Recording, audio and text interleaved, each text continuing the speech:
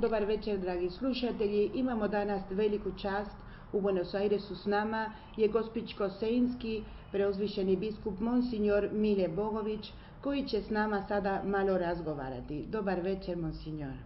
Dobar večer i hvaljeni si Marija. Hvaljeni su. Lijep pozdrav svima. Hvala. E, koja je danas uloga crkve u političkom životu države Hrvatske? Mi znademo da je crkva kroz cijelu povijest e, hrvatskog naroda bila najvjernija pratilja te crkve, sve, sve tamo od početka pa do danas. E, kada je uspostavljena samostalna hrvatska država, e, mi smo vjerovali da će sada mnogo toga preuzeti državna vlast, međutim mnogo toga vidimo da državna vlast e, nije to preuzela i više puta se nekako dignula iznad naroda kao da vlada nad narodom, a nije u narodu da pomaže narodu. I u tom smislu mi mislimo da je danas jako nužno da preko svojih svećenika e, crkva bude što prisutnija u narodu, da vidi njegove nevolje i da ih tumači u duhu evanđelja, a da upozori također i druge e, vlasti kao i državnu vlast što nije e, u redu u odnosima ove države naše Hrvatske prema narodu koji je stekao samostalnost, ali nekako stalno se to postavlja kao neka upitnost. Ima li u današnjoj crkvi aktivista kao što je bio dr. Ivo Protulipac koji je ubijen 46. godine u Trstu zbog svoje vjere i popularnosti? Pa svakako to što je dogodilo se njemu danas se ne može dogoditi jer ipak živimo u jednoj demokraciji i ne može se jednostavno iza plota ili iza ugla sačekati nekoga i jednostavno ga ubiti zbog toga jer je drugoga uvjerenja. Dakle, takoga e, tipa mi nemamo, ali nemamo ga ni u smislu one uloge koju je e, protulipac imao u crkvi. On je bio jedan, jedna istaknuta osoba unutar katoličkog pokreta E, I to taj katolički pokret je organizirao lajke. E, to je bilo nešto samostalno i inicijativno i dakle e, na svim poljima je bilo, na svakom polju bila je neka laička organizacija. Tako nešto je zabranjeno i ukinuto 1945. godine, ali nije oživjelo tako nešto 1991. godine kada je uspostavljena samostalna Hrvatska država. Danas e, su laici organizirani u takozvanim koncilskim e, ustanovama, to jest u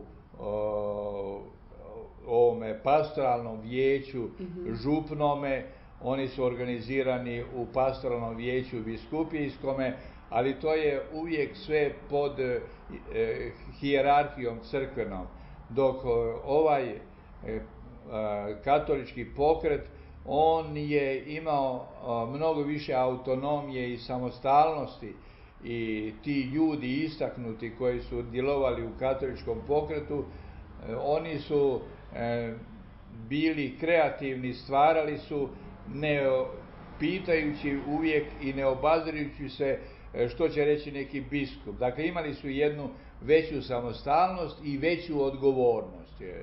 Tako nešto, nažalost, nije se, nije se dogodilo u Hrvatskoj i mislim da je to jedna od e, većih, e, e, jedan od većih nedostataka, da smo previše malo ulagali na naobrazbu naših laika, da mogu poslije samostalno na svojim mjestima odgovorno preuzeti u duhu crkve neke odgovornosti. Recimo tako, neki laici naši postanu ministri, pa čak i jer uđu u vladu, ali oni, e, kad je pitanje njihove vjere, nekako kao da je to nešto što treba, e, o čemu se vodi briga u njihovim obiteljima, ali ne e, kada dođe na vlast. Dakle, nema te svijesti o katoličke odgovornosti na službama državnima. Kao što je tu svijest imao recimo protulipac i njegovi. Dobro, kakav je odnos crkve prema hrvatskoj dijaspori? Na kojem području vidite vi mogućnosti suradnje? Morate znati da su ovake posjete kao vaša jako važne, tako emigracija ne bi izgubila vjeru u samu sebe, jer mi osjećamo da smo dio Hrvatske. Mi imamo unutar biskupske konferencije jednu komisiju koja povezuje cijelu našu vjerničku emigraciju. Dakle, mhm. ne pod vidom politički, nego vjerničku emigraciju. I pod biskupskom konferencijom na neki način su sve župe, sve, kojima, svi svećenici koji upravljaju Hrvatima, kao i ova ovdje, jer u Argentini, e, u Australiji, u Njemačkoj i tako dalje, imamo jednoga, e, jedan ured unutar biskupske konferencije, na čelu toga ureda je sada e, fra Josip Bebić. Mhm. I on će ovih dana isto mhm. doći ovamo.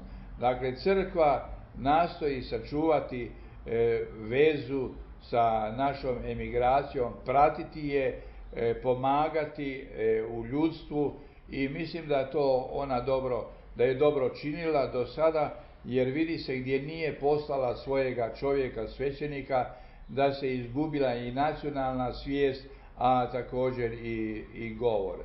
I, recimo uzmemo Čile. Tamo ima jako mnogo Hrvata, je li procentualno jednako kao i ovdje u, u Argentini, ali ovdje u Argentini mnogo bolje ljudi govore hrvatski nego što recimo ti u Čileu, jer tamo nije bila stalna pastoralna briga da su slani svećenici.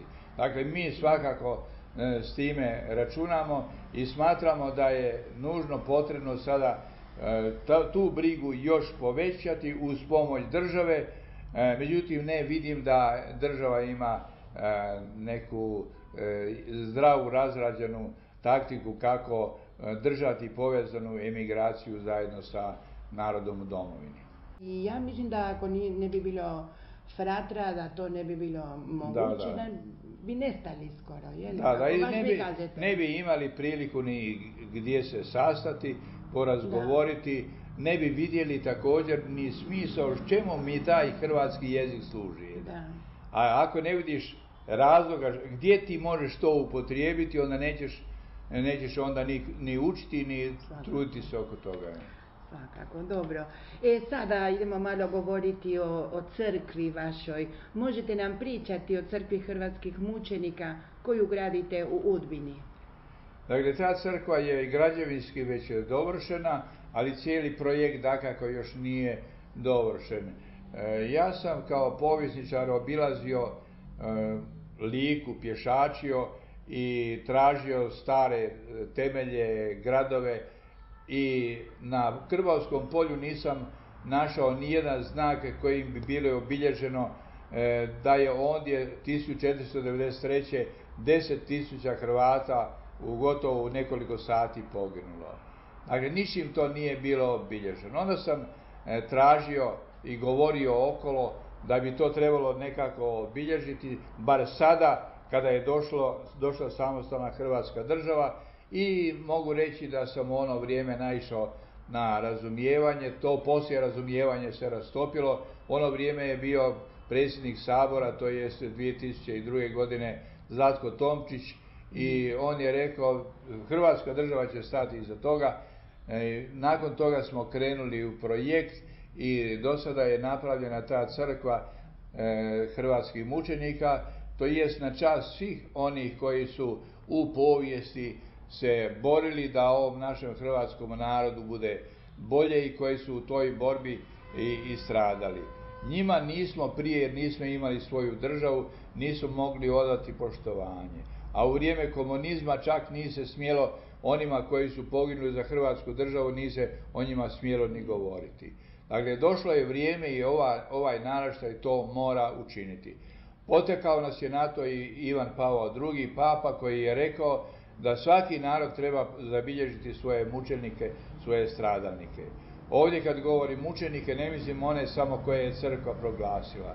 Sad, sad ću vam reći jedan, jedan primjer. E, nedavno je e, otkupano jedno groblje gdje su stradali e, pitomci avijacije, jer je 1945. njih e, oko 30, ispod 20 godina.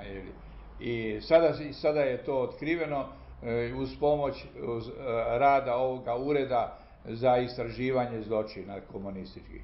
I jedan od tih koji je mladić, dakle, držao je čvrsto stisnute oba dvije ruke, a u rukama je nađena, u, u tom kosturu, u tim kostima, nađen je jedan krišić. Jeli. Dakle, taj čovjek koji je izgubio sve e, pomoći koje su mu bile e, možda nekada na usluzi, nije ga više pomagala ni država, niti je mogao mu pomoći ni roditelji, a bili su moćni njegovi neprijatelji. Ali on je u, u, takvim okolnostima osjetio da je najvažnije biti povezan s Bogom.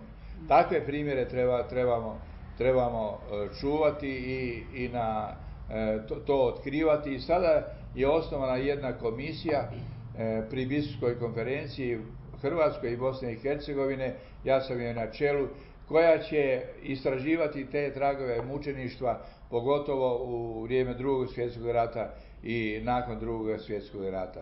To je tim više potrebno što ova vlada sustavno radi na guranje ponovno u zaborav tih žrtava. Tako recimo, otkazala je, Sabor je otkazao pokroviteljstvo nad e, Blajburgom. Mhm. Nastoje sada uništiti, ukinuti ovaj e, ured koji je radio i na otkapanju, što sam malo prije govorio, kod tih žrtava.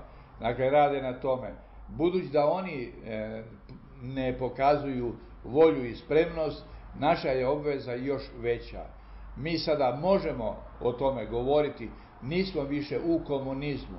Neće mene niko e, sada zbog toga u zatvor, jer da je bilo o tome prije govora, došao bi u zatvor. Jer, mm. dakle, ali budući da imamo veći prostor slobode, moramo se odgovornije i, i postaviti. Zato i kroz crkvu hrvatskih mučenika i preko ove komisije nastojat ćemo i popisati sve stradale i skupljati svjedočanstva e, i e, također nastojati pronalaziti gdje su ti, e, ta stratišta i ta grobišta.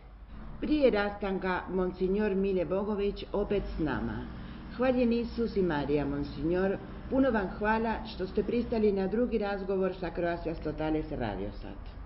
E, hvala lijepa da ste došli da e, još jednom nešto imam priliku reći ljudima ovdje, našim Hrvatima u Argentini, jer doista osjećam da mnogo toga bi im htio reći, a koliko vidim da su mnogi isto željeli razgovarati sa mnom, samo vrijeme je ograničeno, ja moram danas putovati.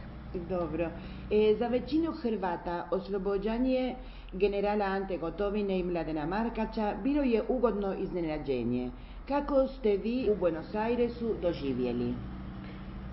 Oslobođenje naših generala je jedan od e, rijetkih događaja koji je Radošu ispunio sve Hrvate. Ja sam već u godinama i znadem kad sam iz Rima došao 1970. godine u Zagreb i onda sam tamo čuo kako iz jedne gostionice čuje se pjesma Oj ti vilo, vilo velebita. To mi je, tako mi je bilo to razveselilo i nakon toga vidio sam da se narod oko toga okupio, da je dogodilo se nešto što je njih e, sve skupa razveselilo, da je narodna duša progovorila. Tako je narodna duša progovorila isto 90. i 91. godine kada je došla zora oslobođenja i uspostave samostalne Hrvatske države. Dakako, sljedeći trenutak koji je posebno bio radostan za sve nas jest e, Oluja, e, kada su svi, većina Hrvatske koja je bila okupirana, došla pod hrvatsku vlast. I e, tu možemo odmah nadovezati i ovaj događaj, oslobođenje naših generala, Drago nam je da su se tako časno ponašali, a, ali svjesni smo i oni su bili toga svjesni da to nije bilo samo suđenje njima, nego suđenje Hrvatskoj. Hrvatska je i za neke evropske sile i svjetske sile bila neželjeno čedo samostalna Hrvatska država i na razne načine politički su htjeli omalovažiti to što smo bili postigli. To je e, na mnoge načine pokušavano. Jedan od e, bitnih faktora bio je tu Haški sud.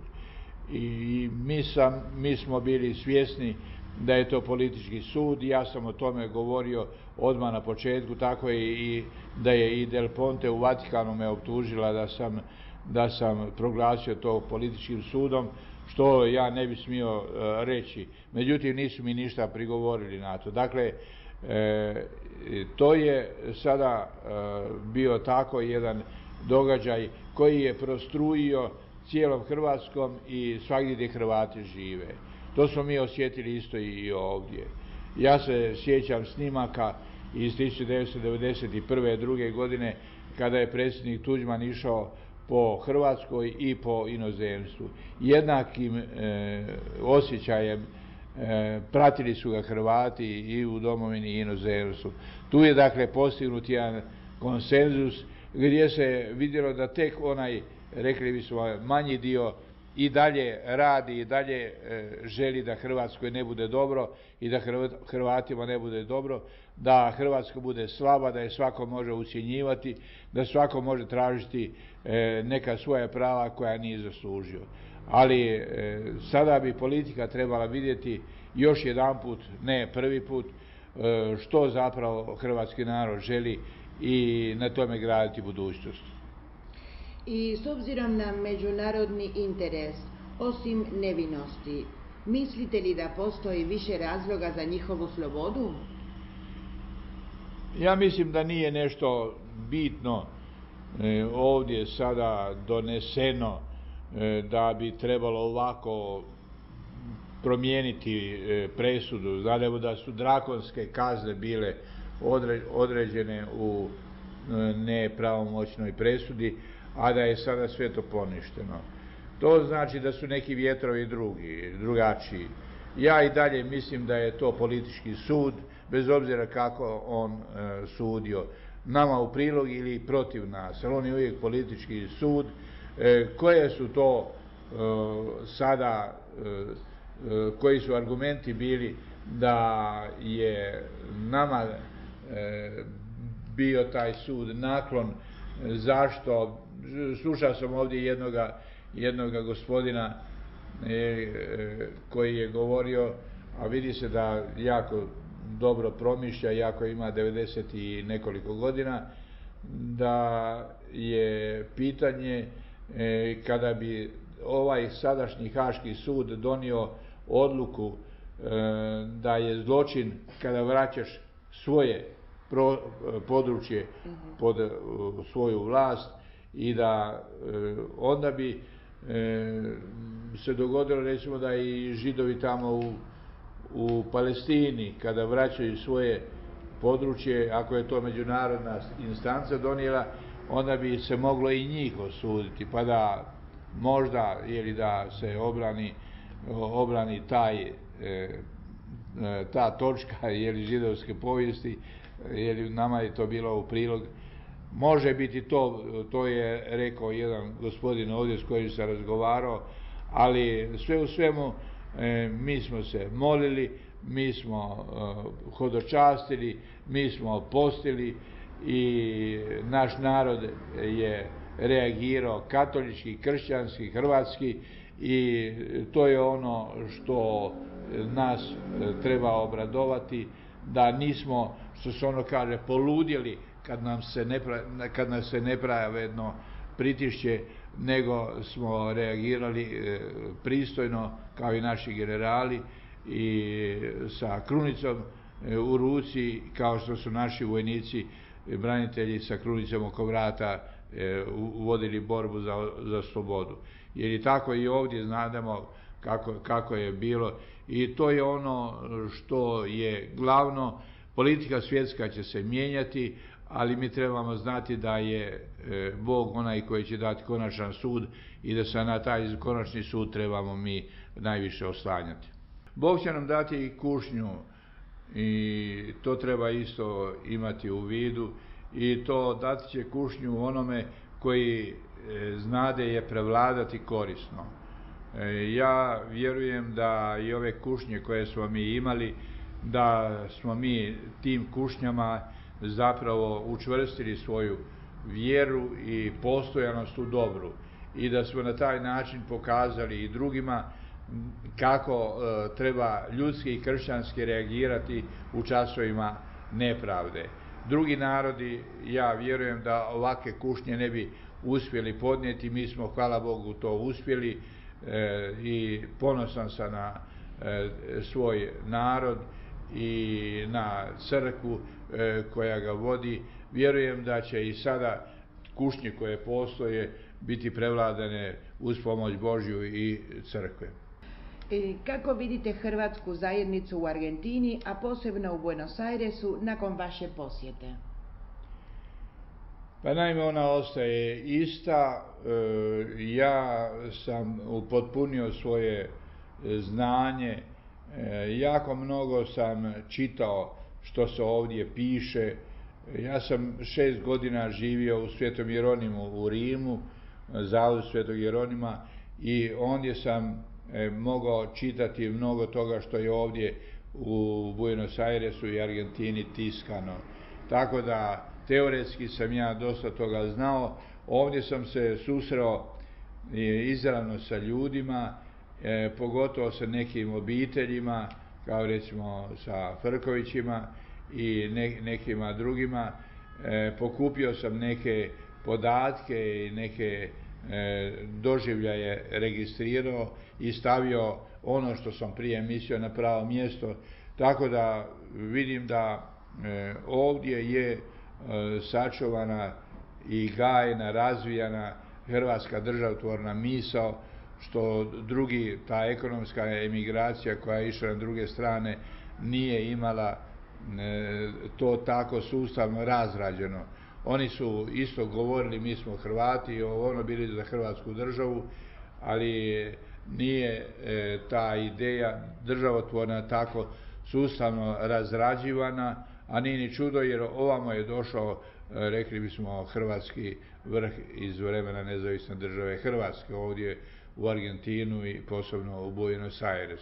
Tako da ta generacija polako e, odlazi, E, no treba sada praviti, napraviti veliki posao da se e, sredi taj materijal, sačuvaju dokumenti koji su važni za našu povijest i da dođu na pravo mjesto, da se ne izgube po privatnim kućama, pa pozivam i ovim putem da recimo možda u Hrvatski klub ili još bolje ovdje kod, u Hrvatski e, centar katolički kod jo, Fra Joze, da kogod ima kakve vrijedne dokumente, slike iz onoga vremena nezavisne države Hrvatske i iz putovanja ovamo, da donese kako bi to moglo biti vrednovano od znanstvenih e, stručnjaka, jer ako propane, svako propast će i važan dio naše povijesti. I možemo li vas zamoliti da posredujete kod crkvenih vlasti u Hrvatskoj da nas ne zaborave i da nas i dalje prate? Pa meni je drago da e, ta svijest e, ovdje da je crkva pratilja ovoga naroda, da ga je čuvala e, i sačuvala i da narod ovdje to prepoznaje. Svakako ću unutar biskupske konferencije raditi na tome da ovdje bude svećenik i možda da se i još bolje e, organizira taj e, rad jer će biti potreban, potrebna jedna druga vrsta rada ovdje sada ne dolaze nam mladi, mlađi naraštaji, ovi koji su stari E, još mnogi su aktivni, ali malo pomalo ili ovdje će e, ta grupa Hrvatska biti e, manje, sve manje brojna i manje aktivna. Ali e, treba paziti da ništa od onoga vrijednoga što je ona stvorila i što je ona značila da se treba to sačuvati. Tu možda najjaču ulogu može odigrati crkva kao i u drugim ključnim događajima i na drugim ključnim mjestima. Pa ću ja u tom smislu zagovarati, a ovdje je sada i fra Josip Bebić, koji je ravnatelj inozemne pastve u ime Biskupske konferencije. On će imati također ovdje dosta susreta, razgovora, ide, ide po svijetu i onda kada obiđe sve, onda se vidi e, jedna panorama potreba i prioriteta. Vjerujem da e, jedan od prioriteta svakako je ovdje dušobrižništvo u Argentini. E, fra Jozo Peranić, mislim da ovdje doista ima jako dobar kontakt s ljudima, da ga ljudi razumiju i da on razumije ljude. Samo pitanje koliko jedan čovjek može, može učiniti. E, bolje je svakako da je jedan nego da ni jedan, ali možda bi trebalo još e, pojačati ovdje e, ta, to dušobrižništvo, kako, na koji način to svako ne mogu ja ovdje odrediti, ali uočavam da je to potrebno. Dobro. E, Monsignor, puno vam hvala što ste nas došli posjetiti u Argentinu. E, puno vam hvala za vašu riječ, ako se tako može kazati. I vi ste bili tu skoro mjesec dana, iako ste nam dragi, svi vas vole i ćete nam faliti, tako da ne. bit ćemo sigurno u kontaktu. E, možemo danas biti u kontaktu, pa što zatreba, jer mogu i javiti, možemo se dogovoriti telefonom ili nekim drugim putem. E, svako ja sam već u godinama kada nije tako lako putovati daleko i kad su velike vremenske razlike.